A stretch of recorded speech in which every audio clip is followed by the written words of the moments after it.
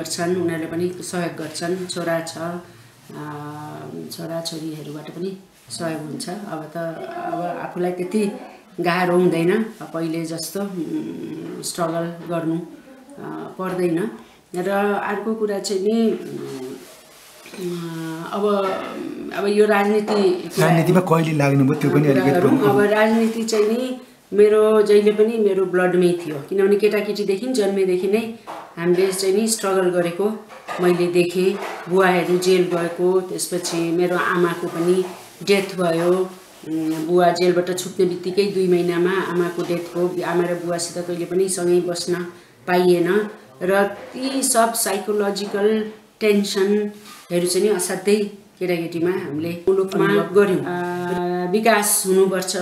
गरिब जनतालाई चाहिँ नि दरिद्रबाट उन्मुख गरिनुपर्छ भन्ने कुराहरू केटाकेटीदेखि त्यो दिमागमा जहिले पनि पर्थ्यो किनकि त्यही कुराबाट त्यही कुरा वातावरण नै त्यस्तै थियो। र उता फेरि अर्को कस्तो वातावरणमा हुर्कियो भनेदेखि पछिल्लो समयमा स्कुलहरू जाँदाखेरि इन्डियामा बस्दाखेरि एक्जाइलमा बस्दाखेरि चाहिँ नि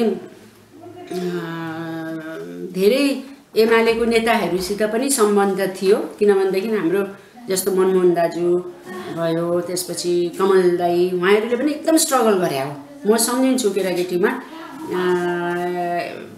त्यो बेलाको जो एमाले हामीले चिनेको होइन? अब माधव कुमारजीहरूलाई त पछि देखियो। डेमोक्रेसी आएपछि थाहा भयो माधव कुमारजीहरूलाई चिनियो। तर त्यो बेला मनमोहन दाजु भयो मातृका प्रसाद कोइरालाको छोरा कमल दाईहरू पनि एक्जाइलमा बस्नुहुन्थ्यो। उहाँहरू पनि।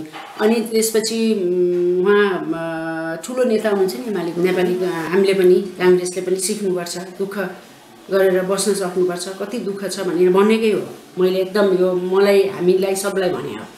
अनि त्यसपछि परिवारको मान्छेहरूसित र यति पढेको लेखेको यस्तो इन्टेलेक्चुअल यस्तो विद्वान मान्छे ले आज यत्रो कष्ट सहेर बसेको छ। कसैलाई मतलब छैन कसैले हेर्दैन। भनिकन उहाँले भनेको कुरा म सम्झिन्छु। यी सबै कुराले धेरै प्रभावहरू पारेको छ। तपाईँ कहिलेबाट राजनीतिमा लाग्नुभयो? अनि त्यसपछि राजनीति त अब भनौँ न सानैदेखि नै राजनीतिमा लाग्यो। राजनीति कुरा सुन्दै हिँड्यो। अब आमा बुवा नै इन्भल्भ भएपछि हामी इन्भल्भ भइहाल्यौँ। त्यसपछि छियालिस सालको आन्दोलनमा म श्रीलङ्कामा थिएँ। मेरो हस्बेन्ड पनि श्रीलङ्कामा हुनुहुन्थ्यो। र त्यो आन्दोलनमा चाहिँ नि मेरो एकदम ठुलो भूमिका रह्यो। यो धेरैलाई थाहा नहोला।